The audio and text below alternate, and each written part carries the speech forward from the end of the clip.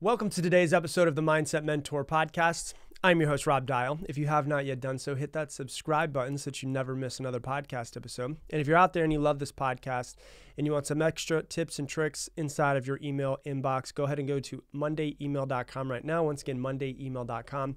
And I will send you free emails every single Monday with tips and tricks to improve your mindset and also improve your life. Today, we're going to be talking about the biggest decisions that you'll make in your entire life. And in fact, we're going to talk about the six biggest decisions that will, you'll make in your entire life. I think that number one, I think you should take some notes on this, and I think you should actually start to journal through this after this episode, or if you want to pause me as we go through it. Uh, so, the first one, the first biggest decision that you'll make in your entire life is who you're going to surround yourself with. The people that you surround yourself with, your friends, your family, everything. Because you become who you surround yourself with. You've heard me say this a million times, but you're the average of the five people that you spend the most time with. So there's an interesting thing. If you're going on a walk with somebody, something really happens, something, something interesting happens unconsciously. Either they will adjust to your pace or you will adjust to their pace. And just like going on a walk, this life that we're on is a walk. And we're going to walk it with some people. And either they're going to adjust themselves to us or we're going to adjust ourselves to them. And when we have four or five or six friends that we hang out with the most, it's pretty obvious once you start to look at your life that you are very similar to your friends. The amount of money that you make, the amount of that you work out, the way you take care of yourself, the area that you live in, your hobbies, the way that you talk to yourself, all of those things. You're very similar to your friends in that way. And so, the same way that when you go for a walk and you unconsciously match your pace to theirs, you will unconsciously match the pace of your life, your aspirations, the way you think about yourself, the way you think about the world. You will match them as well. And so, this is one of the most important decisions that you ever make in your entire life is the people that are in your life. You will either rise to the standards of people around you or you will lower your standards to people around you. I don't know why it tends to be this way, but for most people in most circles, it's usually they need to lower their standards. I don't know why. A lot of people aren't motivated to create the life they want and to create something amazing and to work for it and to become better. But if you're listening to this podcast, I'm going to be honest with you, you're one of the weird ones. I'm one of the weird we're we're drinking the Kool-Aid of trying to become better, trying to work on ourselves, trying to improve ourselves. A lot of people just are not. And so when you're thinking about the circles that you surround yourself with, you want to start thinking about the people who are going to inspire you to be better. They're going to inspire you to think bigger than you currently are. That are going to push you and drive you and motivate you and and cheer you along on this path of life. And being around them makes you be like, shit, I need to be better. That's who you want to surround yourself with. The people that make you think, shit, I need to step it up. Not the people who are like, ah, don't worry about it. You can do it tomorrow. Ah, don't worry about it. Why you got such big goals? That's dumb. Why you listen to those motivational podcasts? That's dumb. Why you reading books? That's dumb. You don't want to hang out with people like that. They're not going to inspire you to be greater. So, really, who can you count on in your life to push you to be better? That's what we're talking about with who you surround yourself with. So, that's number one. Number two, where you're going to live. One of the huge decisions in your life is where you're going to live. You've heard People say it location, location, location. Some people want to be by their family. Some people want to grow themselves and to grow their businesses. Sometimes those two things don't line up. A lot of times they don't line up. For for people who grow up in a small town, shit, anybody who grows up in any town, I think that at some point in time, it is my personal belief, this is just my personal belief, that everyone should move away from the place where they grew up at least for a couple years to discover who they are when they're in a different place. Because a lot of times, who we are, we become who we need to be based off the people we surround ourselves with, just as I said in the first one, right? So if you've been around the same people your entire life, changing is going to be quite hard.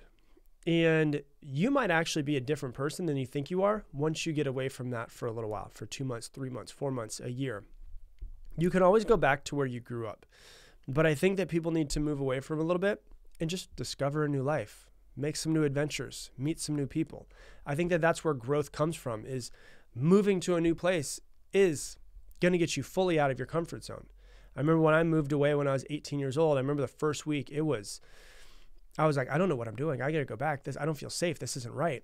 And then over time I got a little bit better with it and You know, now I grew up in Florida, I live in Texas. And so I'm not saying someone has to move away and stay away forever, but just test the waters. What if you moved away from where you grew up? So if we're talking about also the idea of where you grew up versus maybe wanting to grow a business, and I said sometimes those two don't line up. If I were to stay where I grew up, it would have been really hard for me to grow my business that I currently have. And the reason why is because there's not a whole lot of people in the small town that I grew up in that have businesses like mine. I happen to be lucky where I moved to Austin, Texas, and there happens to be a lot of people who do stuff online. And so when I was first getting into how do I do this online thing? How do I make money online? I was trying to figure it out and find my feet.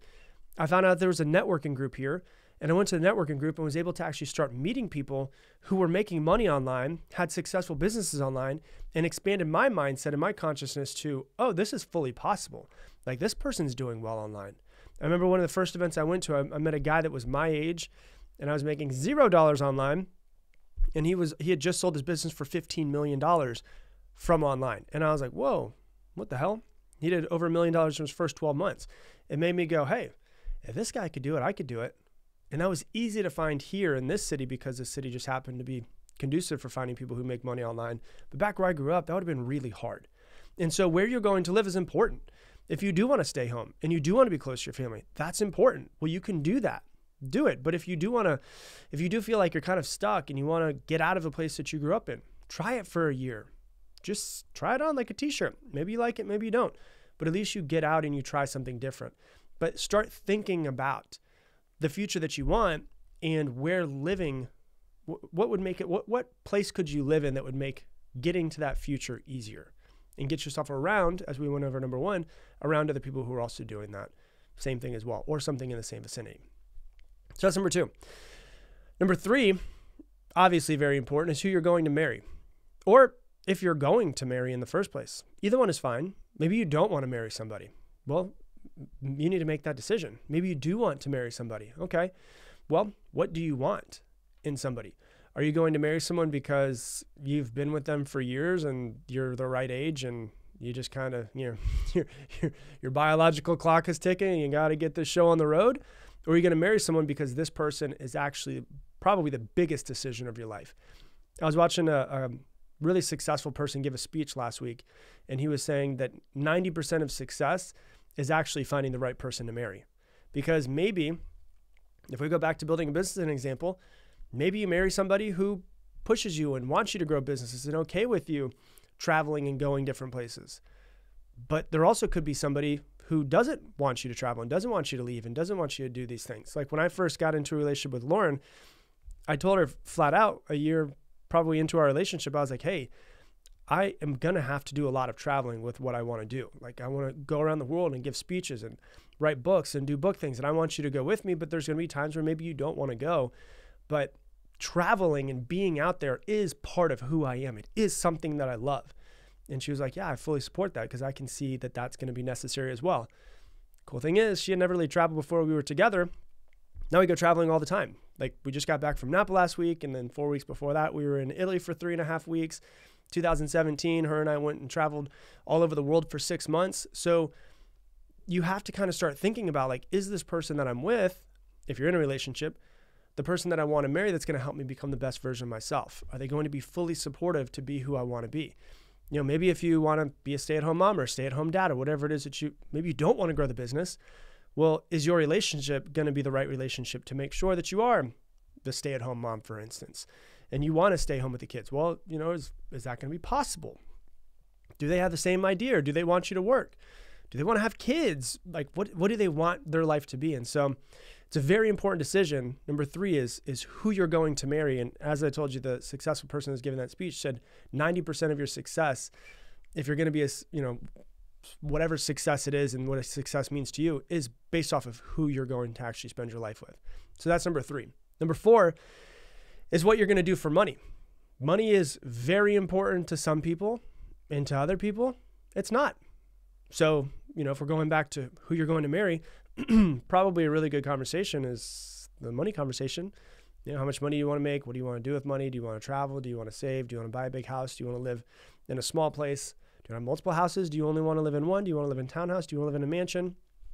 You know, so that's that's another conversation, but how are you going to make your money? You know, what are you going to do for money? Some people, they want to turn their passion into a paycheck. And I will say this, some people can turn their passion into a paycheck, but the vast majority of people won't be able to in most cases be able to make full-time income and fully support off of just their passion. Sometimes they can, sometimes they can't. Is that something that you want to do? And is it feasible for you to turn your passion into a paycheck?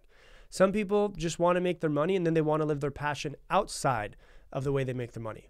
Neither one is right, neither one is wrong, but it's really like, what do you want to do? You're going to spend the majority of your waking hours working somewhere. Please make it be somewhere where you at least enjoy it, or you at least feel some fulfillment and some satisfaction from it.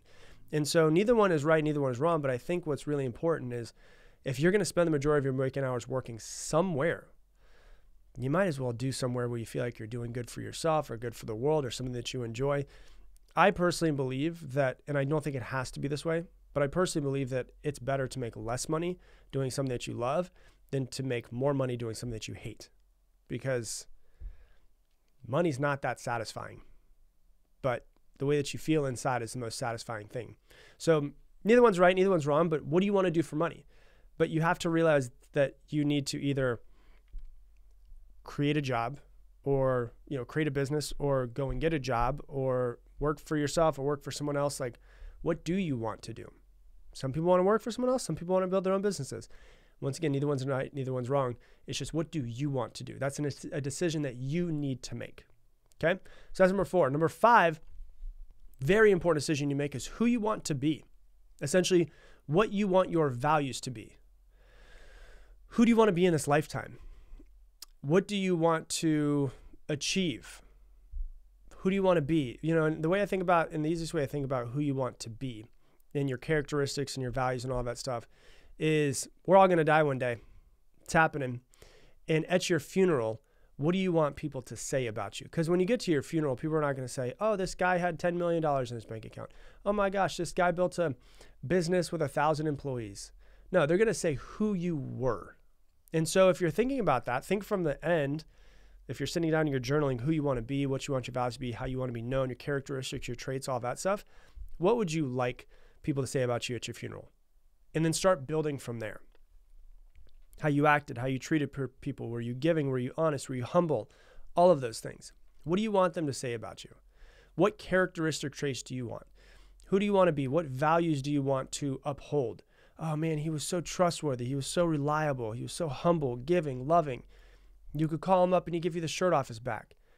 Who do you want to be in this lifetime is an extremely, extremely important decision. So that's number five. Number six is what do you want to dedicate your life to? This life can just be a thing where you go through the motions if you want to. But most people usually don't want to just go through the motions. They want to create something with this life of theirs. They want it to be a success. They want to feel like they're doing good in some sort of way. So what do you want to dedicate your life to? If, you know, you don't want to dedicate your life to something, what's the point? Like really, what's the point? What are you willing to die for? And what I mean by it is it doesn't have to be like, "Oh, I'm going to build this business and make millions of dollars." That's not what I mean by just it could be that if that's what you want. Maybe there's something that you you have decided you do want to dedicate your life to. But it could be your children. It could be a business. It could be helping the homeless. It could be helping animal rights. What is it? What is what is the flag that you're going to put into the ground and say this is the thing that I stand for above everything else? What do you want to dedicate your life to? Because I think most people feel a lot of people feel like their life is just this hollow existence. Like they're just going through the motions and they're here and things are happening and blah, blah, blah. And it is what it is. But the reason why is because they don't have something they can dedicate their life to. And so, what are you going to dedicate your life to? And what is the most important thing for you to be working towards? And so, those are the six biggest decisions that you want to make sure that you get very clear on in your life. Number one, who you're going to surround yourself with. Number two, where you're going to live. Number three, who you're going to marry. Number four, what you're going to do for money. Number five, who you want to be, what your values are going to be. And number six, what you're going to dedicate your life to. If you can get very clear on those things, you'll create a pretty damn good life. I promise you that. So that's what I got for you for today's episode. If you love this episode, please share it on your Instagram stories and tag me in at Rob Dial Jr., R O B D I A L J R. And uh, once again, if you want to follow the podcast, the podcast Instagram is blowing up. We grew by like 30,000, 30, 40,000 people last month alone. It is the Mindset Mentor Podcast. Once again, the Mindset Mentor Podcast on Instagram. And once again, I'm going to leave you the same way I leave you every single episode. Make it your mission, make someone else's day better. I appreciate you, and I hope that you have an amazing